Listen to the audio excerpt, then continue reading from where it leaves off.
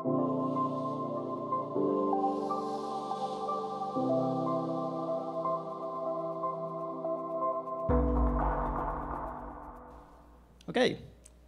Hello, everybody. How's it going? My name is Martin. I work at OpenZeppelin.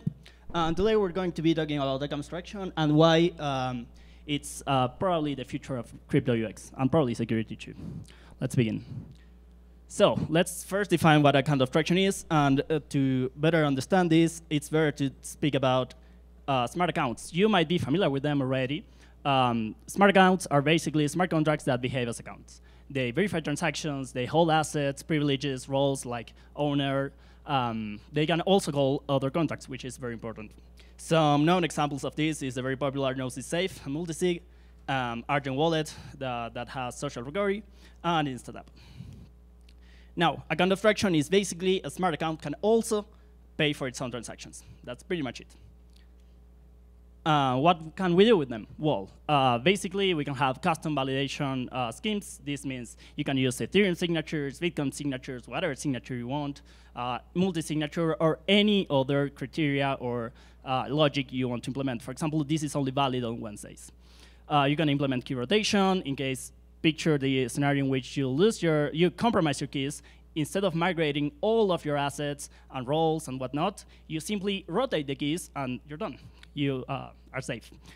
Um, we can also have guardians, uh, social recovery, which is a very good feature, and session keys. Uh, think of session keys as basically, um, for example, a JSON Web Token or a set of, of uh, permissions you uh, grant, for example, a website, a web application.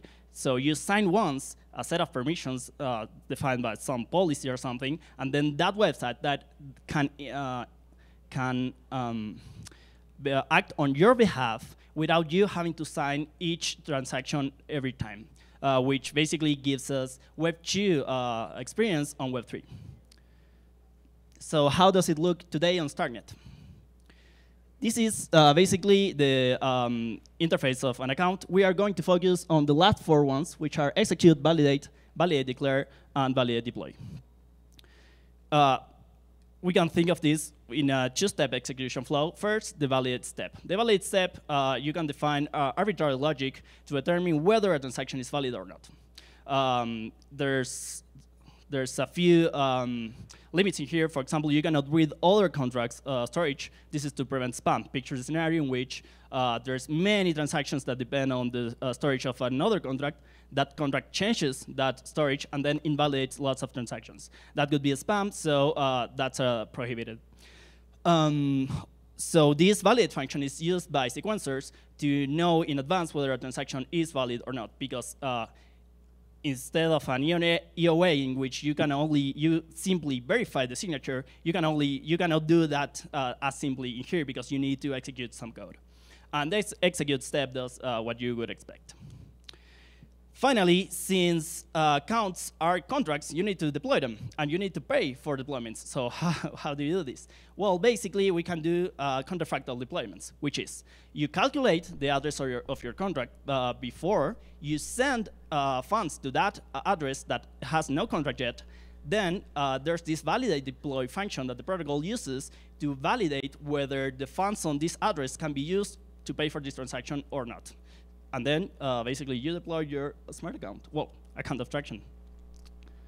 And uh, finally, uh, in StarkNet, you can use uh, OpenZeppelin contracts for Cairo, in which we have an account, a regular account, which uses the StarkNet um, signature scheme. Uh, we have an ETH account, which uses Ethereum signatures, and a, an account library that you can use to build your own custom um, accounts. And I hope that by now you, you got the idea that it means a huge improvement in onboarding, user experience, and security.